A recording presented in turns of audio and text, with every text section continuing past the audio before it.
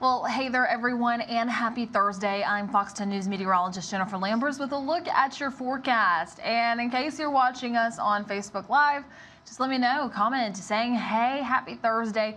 Also, let me know where you're watching from so far for today. What we're starting to see is nice conditions out there, some mostly cloudy skies, but still some peaks of sunshine out there. And those temperatures beginning to warm up. We're starting to see more of those 60s but that's around average for how we should be feeling this time of year. Now, the good news, your Thursday, your Friday, your, even your Saturday, they're going to be looking great.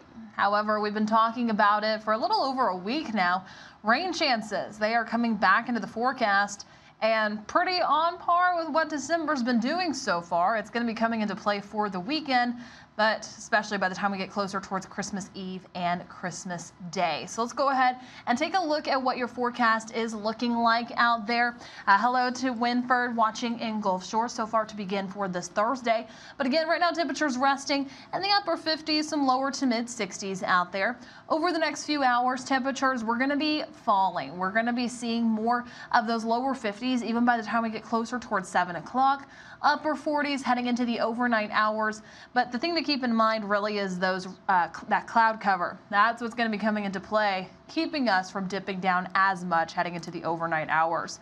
Taking a look at our futurecast, timing things out, heading into the remainder of today staying dry. It's going to continue to stay that way. Things looking fantastic overnight and continuing heading into your Thursday morning.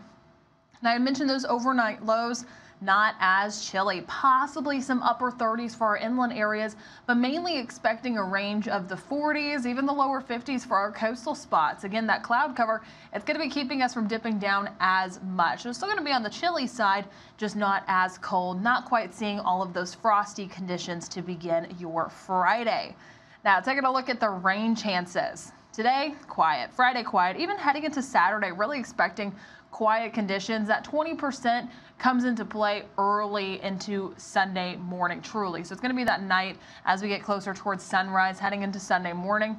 But taking a look at the rain chances for Sunday and Monday, that's when things get a little bit different. That's when they're really going to be on the rise heading into Christmas Eve and Christmas Day. Also, hello to Catherine Johnston watching from Mobile. Again, in case you're joining me, just go ahead and let me know. Let me know that you're here. Uh, but focusing more also on the weekend before we get there, heading into Saturday, we have the 68 Ventures Bowl. And that's going to be the South Alabama Jags taking on the Eastern Michigan Eagles. In case you're going to be heading on out towards this game, things really looking nice. We're going to be seeing the 50s for the majority of the game, mostly cloudy skies. And for some of those rain chances, I only have that 10% there once things are wrapping up isolated sprinkles, enough to maybe just feel it on your hand, maybe at some point feel that, but not enough to disrupt anything with the game. It's going to be looking great out there. Seeing more of those mild to cool temperatures in the 50s, so nothing too uncomfortable and nothing that you have to really bundle up for. Truly some pleasant football weather heading into the 23rd for that 68 Ventures Bowl. Now, as you do look ahead towards Christmas Eve and Christmas Day, here's those rain chances that I had mentioned. So keeping that 60% on Sunday, 70% on Monday, might go back and forth between those numbers, but really what you need to keep in mind, Sunday, Christmas Eve, we have those chances coming in again at 60% mainly for the afternoon and the evening. On Monday, Christmas Day, it's mainly going to be for the morning time.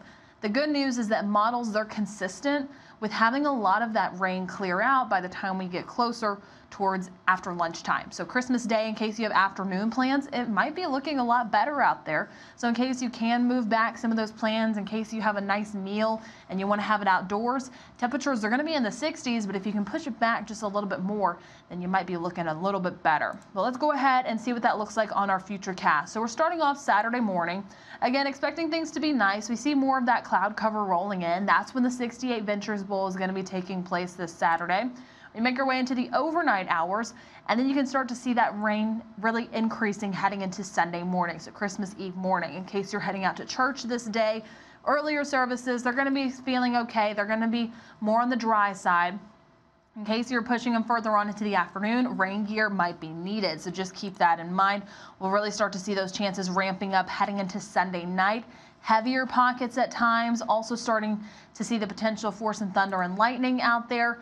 Rain chances continue heading into the overnight hours. So we get closer towards midnight into from Christmas Eve into Christmas morning. We start to really see some of that rain beginning to move in. And then as we make our way into Monday morning, Santa is going to have a wet ride here across the Gulf Coast. Rudolph going to be needed because starting off Monday, you can really start to see some of that heavy rain possible to begin Christmas Day. And then we turn more isolated, heading closer towards lunchtime. And then take a look at that. By the time we get really past 1 o'clock, this continues to keep that rain pushing out of here. And the good news is that models are staying pretty consistent with that. And it, they keep us dry for the remainder of Christmas Day. And then heading into Tuesday, isolated sprinkles possible. Even then, that Futurecast updating to keep us even more dry. Now, taking a look at our full seven day outlook, daytime highs continuing in the 60s every single day. Overnight lows not as cold, so really not going to be seeing any more of those frosty mornings for the seven days ahead of us. We're going to continue to watch this. Again, some changes still possible, especially with the timing of that rain. Just make sure you stay updated with Fox 10. We'll continue to monitor those chances, keep you updated.